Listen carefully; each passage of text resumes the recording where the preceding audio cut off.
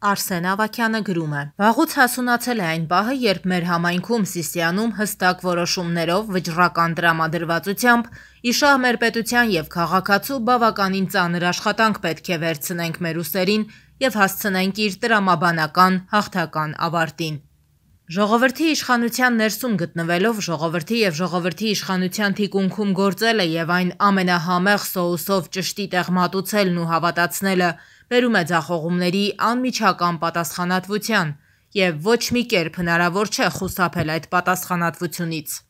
Բավականին մանրամասներ կան, որոնց մասին պետք է տեղեկացված լինի յուրաքանչյուր սիսիանցի, բայց այդ ամենի մասին խոսելը դեռ վաղ է։ Մոտենում է այն պահը, երբ յուրաքանչյուր սիսիանցի հնարավորություն կունենա լիարժեք տեղեկացված լինել Սիսիանում գոյություն ունեցող, բայց քիչ երևացող կամ չերևացող ոմանց համար չափազանց ցավոտ իրականության մասին։ Ոչ ոք չհամարձակվի իմ մասին խոսել սուտը։ Ոչ մեկ չհամարձակվի ինձ ներկայացնել իբրև իշխանությանը հակառակ սեփական կաշին փրկելու նպատակով։ Ի սկզբանե եղել եմ Նիկոլ Փաշինյանի, մեր վարչապետի հետ եւ լինելու եմ նրա կողքին միշտ։ Հասկանում եմ, ցավոտ է, բայց արդարությունը պետք է հաղթի։ Սիրելի սիսիանցիներ, արդարություն եք ուզում։ Ես ձեզ խոստանում եմ այն։ Մամուլը գրում է. Նիկոլ Փաշինյանի եւ իշխանությունների հրաժարականի պահանջով պայքարի ելած ընդդիմադիրները տարի ու կես է պարբերաբար պայքարի մարտավարություն են փոխում։ Մեկ միասնական են, հետո ապակենտրոն պայքար են հայտարարում, ինչ որ պահի ԱԺ-ն էր դարձել պայքարի թատերաբեմ։ Փորձում են պայքարել գրված ու չգրված մեթոդներով, բայց Փաշինյանն ու իր թիմն այնքան ամուր են կարճած աթոռներից, որ ցանկացած մարտավարություն ու գործիքակազմ անզոր է նրանց դեմ։ Երկու ամիս առաջ ապրիլի 17-ին ԱԱԾ նախկին տնօրեն պատիվ ունեմ խմբակցության ղեկավար Արթուր Վանեցյանն առաջինն էր, որ Ազատության հրապարակում նստացույց սկսեց եւ պայքարի մեկնարկը տվեց։ Մի քանի օր անց հրապարակը դարձավ պայքարի օջախ։ Մի կողմում Վանեցյանն էր իր թիմով, մյուս կողմում Սև Հովազ Ջոկատն էր Ռուստամ Գասպարյանի եղբոր գլխավորությամբ։ 44-օրյա պատերազմի մասնակից տղաները սկսեցին հացադուլ անել։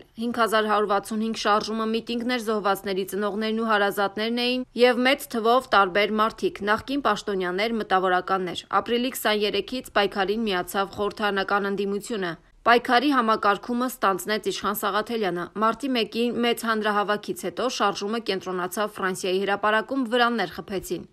Մեկուկես ամսվա պայքարից հետո դիմադրության շարժումը բացեց Ֆրանսիայի հրապարակը եւ այլ մարտավարություն ворթեգրեց վերադառնալով Երման դիրքեր։ Մեր տեղեկություններով Արթուր Վանեցյանը, որը պայքարի վերջին փուլին չէր մասնակցում, այսօր հանդես է գալու հայտարարությամբ իր սկսած պայքարը շարունակելու մասին առանձնանալով դիմադրության շարժումից։ Չի բացառվում, որ նա անդրադառնա նաև մանդատի հարցին եւ հայտարարի այն վայր դնելու մասին։ Ժողովուրդ օրաթերթը գրում է. Ազգային ժողովի Հայաստան խմբակցության падգամավոր Արմեն Չարչյանի շուրջ, որը կրկին զբաղվում է Իզմիրյան բժշկական կենտրոնի փաստացի ղեկավարմամբ, դժգոհություններ կան։ Ժողովուրդ օրաթերթին ահազանգած աշխատակիցները նշում են,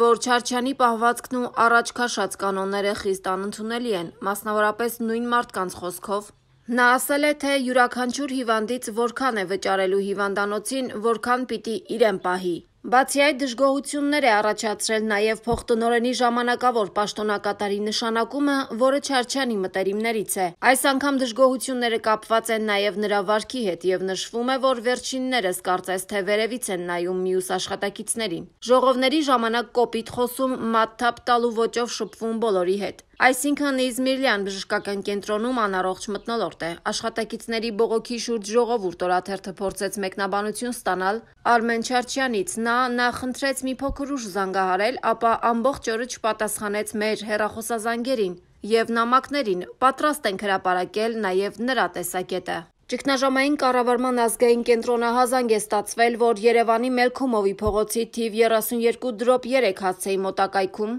Տեղի է ունեցել ՃՏՊ կան արգելափակված քաղաքացիներ։ Դեպքի վայր է մեկնել ԱԻՄՓՑ Երևան քաղաքի փրկարարական վարչության հրշեջ փրկարարական ջոկատներից երկու մարտական հաշվար։ Պարզվել է, որ Opel Magnish-ի ավտոմեքենան դուրս է եկել ճանապարհի երթևեկելի հատվածից, բախվել ճամփեզրե արգելապատնեշին եւ Սյանը։ Մինչ փրկարարների կանչի վայր հասնելը մեկ տուժածի եւ մեկ զոհի տեղի ուժերով դուրս են բերվել, ավտոմեքենայից տուժածը հոսպիտալացվել է Արմենիա բժշկական կենտրոնում։ Փրկարարները հոսանքազրկել են ավտոմեքենան եւ սահմանազատել տարածքը։ 2021 թվականի հունիսի 20-ին կայացան արտահերթ խորհրդարանական ընտրություններ։ Արդյոք լուծվել են խնդիրները, որոնց պատճառով անցկացվեցին ԱԺ արտահերթ ընտրությունները։ Այս մասին զրուցել են քաղաքագետ Դավիթ Ստեփանյանի հետ։ Ներքաղաքական ճգնաժամ ես չէի տեսնում 1 տարի առաջ, չեմ տեսնում նաև այսօր։ Հիմնավորումը པարզ է, որպեսի երկրում լինի ներքաղաքական ճգնաժամ, պետք է լինի որոշակի կրիտիկական զանգված փողոցում, որը դժգոհ է կառավարությունից եւ պահանջում է նրա հրաժարականը։ Այդ զանգվածը փողոցում չկա, չի եղել 1 տարի առաջ։ Ուղղակի նախկիններից երկու քաղաքական ուժ կա, որ դժգոհ են եւ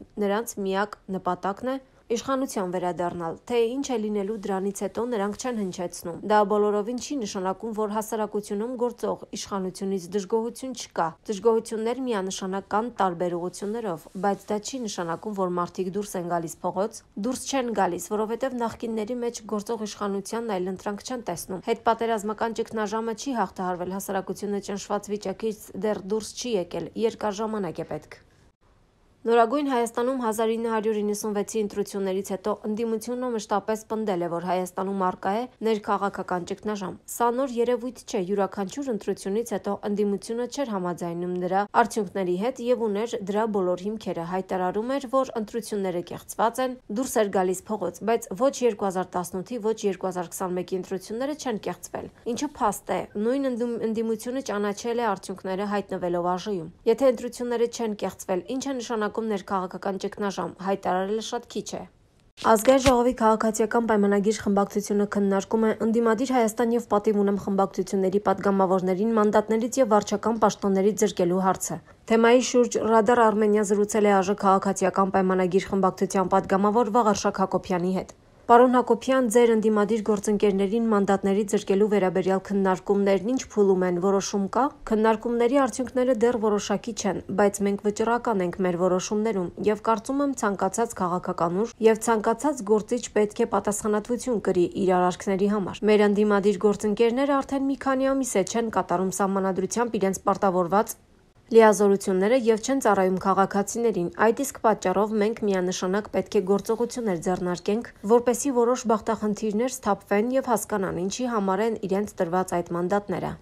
ԱԺ-ում պաշտոնների որոշ մասը պարտադիր պետք է զբաղեցնեն ընդդիմության ներկայացուցիչները։ Մենք որպես ժողովրդավարական ուժ հետևել ենք այդ գործելավոճին եւ մեր ընդդիմադիր գործընկերները ԿՊ խմբակցության քվեով են դարձել հանձնաժողովների նախագահներ եւ ԱԺ փոխնախագահ։ Նրանք եւս չեն իրականացնում ԱԺ կանոնադրությամբ սահմանված լիազորությունները։ Այս դեպքում եւս մենք պետք է գործողությունների դիմենք։ Ես չեմ կարող ասել այդ գործողությունները երբ կլինեն եւ ինչ փաթեթավորման, բայց միանշանակ է որ պետք է ինչ որ բան։ Հայաստանի ներքաղաքական Իրական իրադարձությունների, ցուցարարների եւ ոստիկանության միջև տեղի ունեցած միջադեպերի մասին զրուցել ենք Հելսինկյան քաղաքացիական ասամբլեայի Վանաձորի գրասենյակի ղեկավար Արթուր Սակունցի հետ։ Ըստ նրա այս ներկա անդիմադիր ուժերը, երբ ժամանակին ընդդիմություն էին, նույն վարկն էին դրսևորել եւ նաեւ երբ իշխանություն էին, ելի նույն վարկագիծն են դրսևորել արդեն իշխանական լծակներ օգտագործելով։ Դրա համար եկեք այստեղ այդ հարցն առանձնացնենք, որ այս ուժերը անկախ անվանումներից Իրենց բովանդակությամբ, իրենց մոտեցումներով, վարքագծով մշտապես աչքի են ընկել ագրեսիվությամբ եւ բռնությունն է եղել նրանց հիմնական գործիքակազմը։ Երբ նրանք իշխանություն էին մոտ 20 տարի, այդ ժամանակահատվածում գոյություն ունեցող ընդդիմությունները որևէ անգամ բռնություն չեն կիրառել։ Բռնության եւ բռնարարքների կոչ չեն արել ոստիկանության նկատմամբ, այդպիսի ոչ չի եղել։ Եղել են շատ եզակի առանձին էպիզոդներ առանձին անհատների մասնակցությամբ, բայց դա որևիցե անգամ չի ողջունվել։ Ընթակարակը հրաապարակավ կոչ է արվել զսպվածության եւ բռնությանը բռնությամբ չպատասխանելու վարկագիծն է եղել։ Հիշենք 2003 թվականը, 2004-ը, 2007-ը, երբ սկսվեց նախընտրական այդ ժամանակահատվածը։